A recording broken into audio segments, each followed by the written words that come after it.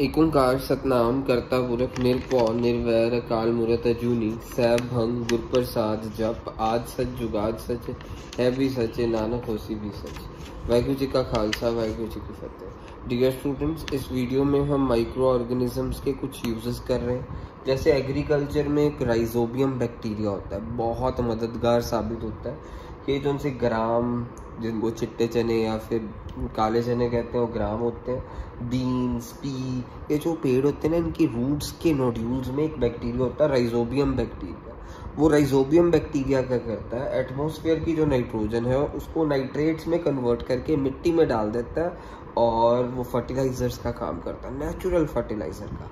सो agriculture में देखो कितना बड़ा इंपॉर्टेंस है इस बैक्टीरिया की। ऐसे ही एनवायरनमेंट को भी क्लीन करते हैं। ये सीवरेज वगैरह, जो भी डीकम्पोज नहीं तो सीवरेज का तो ढेर ही खड़ा हो जाए।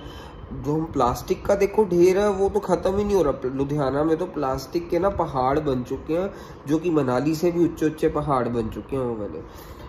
बट ऐसे ही अगर सीवरेज भी तो सीवेज जो सा होता है वो तो प्लास्टिक से भी ज़्यादा प्रोड्यूस होता। है बट उस सीवेज को डिकम्पोज कौन कर देता है? बैक्टीरिया इसलिए उसके पहाड़ नहीं बन रहे तो इसके भी पहाड़ बने।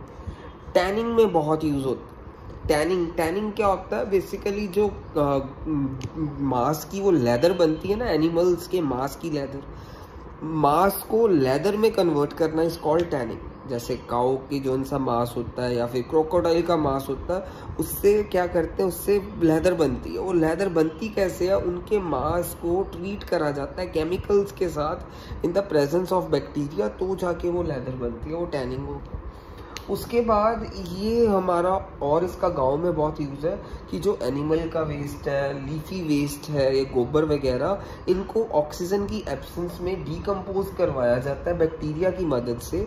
तो बैक्टीरिया डिकम्पोज करता है इस वेस्ट को ऑक्सीजन की एब्सेंस में और मिथेन गैस रिलीज़ हो जाती है। Methane gas is the important constituent of biogas और गाँव में ये बायोगैस से चूल्हे वगैरह चलाए जाते हैं।